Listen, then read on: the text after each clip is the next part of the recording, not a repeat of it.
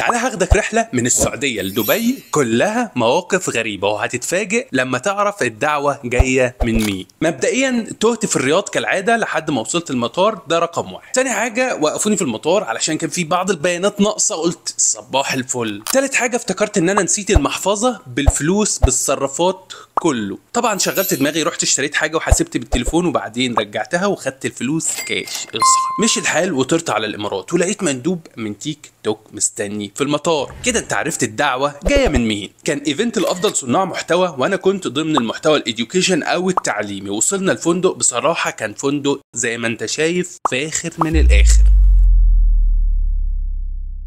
وتاني يوم خدنا التمرينة الجميلة وجه ميعاد الإيفنت.